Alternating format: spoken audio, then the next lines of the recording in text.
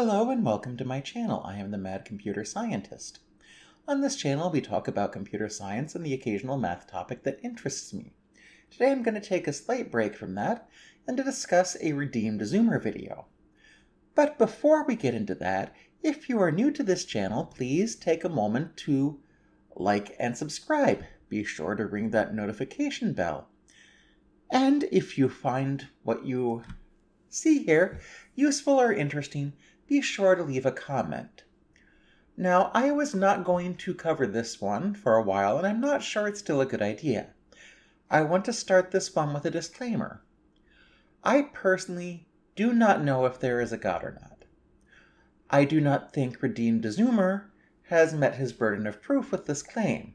I also think he is engaged in some bad logic, and that's what I wish to examine with this video. You are free to draw whatever conclusions you wish, if you would like to see the original argument he seems to be misunderstanding, please go watch a video put out by, I think it is the Discovery Institute by Dr. Jason Lisle, where he's trying to claim that fractals prove God. I will link that in the video section below. If you are interested in seeing how other people responded to him, please check out his 40 Arguments Against God Answered video and the number of responses to it. The reason I'm choosing this video is because this video specifically includes math, and he's making some interesting and incorrect claims, as well as misunderstanding Dr. Lisle's argument. Before I get into this video, I also have another warning I have to make. Redeemed Zoomer seemed to have little care for the amount of flashing that's going on when he's covering fractals, and he did not seem to realize that this may cause problems for people with epilepsy. I'm going to warn you that you may want to skip over those parts or at least perhaps go to another tab while he's discussing how fractals work and getting much of what Dr. Jason Lisle said about the argument. Wrong, let's go into what he actually said. Does God exist? Many atheists think there's no reason to believe in God because we have science to explain everything in the universe. It's true that science is able to explain the natural world, that's what it's for, but by definition, science cannot tell us whether there's anything outside or above the natural world, in other words, whether there's anything supernatural. Generally, when people speak of God, they mean a supernatural, all-knowing mind who is everywhere and can do anything. So what is math and what does it have to do with God? Math is about numbers and information about those numbers and ways numbers connect to each other, but where do we find all this math? And here we see Redeemed Zoomer making his first mistake. Perhaps he did not bother to research what mathematics actually is or a more scientific definition of math. I do not know if he is even aware that math is technically considered a pure science. From the Tennessee Tech University website, we get the definition that mathematics is the science, study of quality, structure, space, and change. Mathematicians seek out patterns, formulate new conjectures, and establish truth by rigorous deduction and appropriately chosen axioms and definitions. Note that numbers are not included anywhere in this definition, although math does involve a lot of numbers. It may surprise Redeemed Zoomer that there are fields of math that do not involve numbers at all, such as logic, and of course, Boolean algebra is applying mathematical concepts to logic, and of course in Boolean algebra you're not dealing with numbers, but you're dealing with propositions and whether the proposition is true or false. And if Redeemed Zoomer seems to have a hard time with this, I can't wait to see someone explain knot theory to him. But I am guessing Redeemed Zoomer's grasp of basic Boolean algebra is so poor that he could not manage to figure out how to eliminate false answers on multiple choice tests.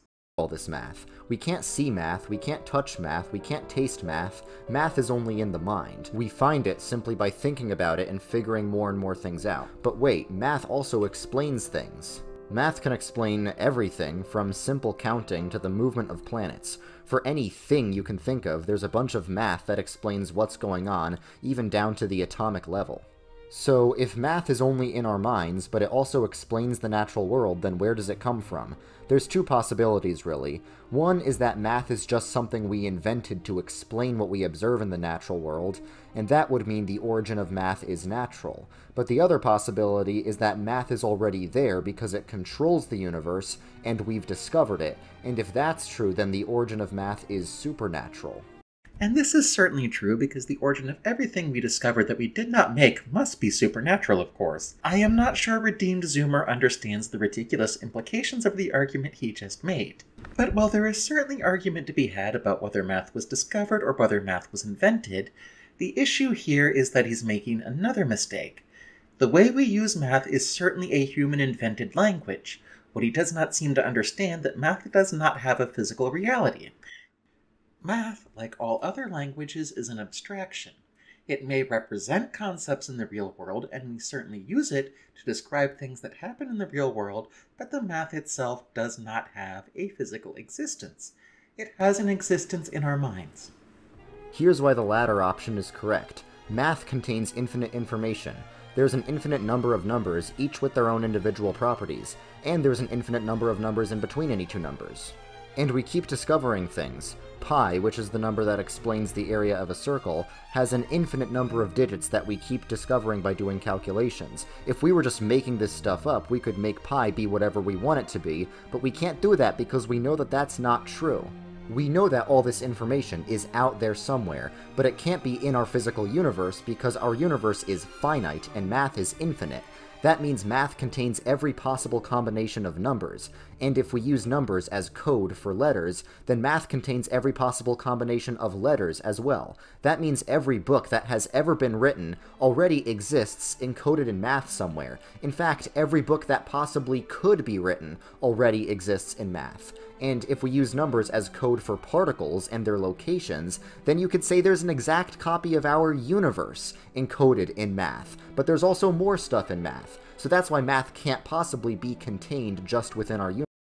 If I were to give any advice to Redeemed Zoomer about doing a video on abstraction, it's to make sure you have a good idea what mathematical abstraction is before doing a video on it.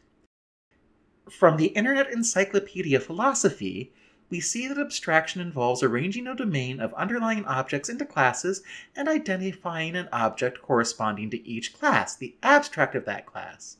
Note that the object is not the class itself. This is the fundamental mistake Redeemed Zoomer has made throughout this video so far. I am sure if he ever sees this video, which I doubt he will, he will be quick to point out that computer science is not mathematics. Well, he's slightly wrong about that one, because computer science broke off from mathematics, but if you think computer science doesn't use principles of mathematical abstraction in what they do, you've clearly never understood what computer science entails. Universe. But that's just the beginning. There's many pieces of evidence in math to show that math has a designer. Here's an example. One time someone discovered that this simple equation makes a very interesting shape when you graph it in the complex plane, and this is called the Mandelbrot set. But people have analyzed this shape and have found some very scary things about it. What's amazing about the Mandelbrot set is that you can zoom in infinitely and you'll keep finding new things. Over here, you can keep finding more and more copies of the Mandelbrot set no matter how far you zoom in.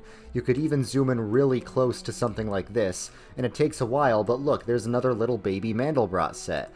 Alternatively, you could go into this region and find completely different things. On the left side of this thing, you'll find these weird elephant-shaped things that have spirals that go on forever, and you could even zoom into the side of one of the spirals and find new spirals that repeat infinitely and keep generating new infinite patterns like this. Or you could go on the other side of the elephants and find these weird seahorse-shaped things that have different kinds of spirals that are connected to each other, and once again, they keep going on forever. You can zoom in infinitely, and you'll keep finding new patterns, but like I said, it's a different type of pattern. Seriously, anytime you explore the Mandelbrot set, you can find brand new things, possibly things that no human has ever seen before, because like I said, there is infinite complexity and infinite information in this one shape. That's why this little shape is so scary. We did not invent this because we discovered it by accident, but we did not discover it in our universe. It has infinite complexity, so it can't possibly be in our universe because the universe doesn't have infinites. We discovered it just by calculating it. So where the heck did this thing come from? Basic common sense says that someone designed this, but no human designed it. Like we said, math only exists in the mind, so its origin must also be a mind. All these numbers and mathematical facts exist in the infinite mind of God, but it's not just mathematical truth that exists in the mind of God, but also moral truth and any kind of truth at all. Goodness, truth, and beauty are just mere opinions of the human mind, unless there is a supreme mind, God, who overrules all human opinions. Because math is beyond time, space, and limits, the existence of math proves the existence of God because math is in the mind of God. As the great scientist Galileo said, math is the language with which God has written the universe. Did he just say math controls the universe? Well, I'm gonna have to remember that one. Remember, kids, do your math homework if you want to grow up to become a wizard. No, Redeemed Zoomer, math does not control the universe. Once again, you have misunderstood something fundamental. Math is a language we use to describe the universe. You've also made a false analogy here. Just because you claim that God has these properties and math has these properties, it does not mean, where your argument seems to be headed, that God is math. If God were math, then every mathematician would be a priest. Math is a tool that is both powerful and useful. It does not give you magical powers. I wish it did. Even my knowledge of programming does not give me mystical powers. It simply mystifies people who do not understand what's going on. Mystifying people and having magical powers are not the same thing. Just because you don't understand math, it doesn't mean that the people who know how to do math are wizards or gods. Math contains infinite information, so this mind must be all knowing. Math controls the universe, so this mind must also be all powerful and math is beyond and outside of our natural world, so this mind must be supernatural, and we have just described God. And in this particular segment, we see him use the fallacy of not only a false analogy, but of the fallacy of the undistributed middle. He's assuming that because both math and God have the properties that he claims them to have, that therefore they are the same thing. Let's say I have a friend who is left handed, a software engineer, and was a teacher at some point. I am also left handed. Some people might describe me as a software engineer, and I have also worked as a teacher in the past. By Redeemed Zoomer's logic, that means we're the same person. But we are not because one of us is blonde, in this analogy, and the other one of us has brown hair. As I close out this video, I'm just going to remind everyone that I am not saying whether or not God exists with this video. I am saying Redeemed Zoomer's logic is bad. This was something of a different take of what I normally do, and if you liked it, I would like you to comment below. If you did not like it, I would also like you to comment below. I will go back to more educational style videos in a little bit here, but I'd also like to occasionally cover things that I think are just bad logic or bad argumentation, because as Redeemed Zoomer didn't seem to know, logic is a branch of mathematics. And of course, without applied logic, there would be no computer programming at all. Thank you for watching this one, everyone. This one will be a bit longer. Please remember to like, comment, and subscribe. And if you have any ideas for future videos, put them in the comments below.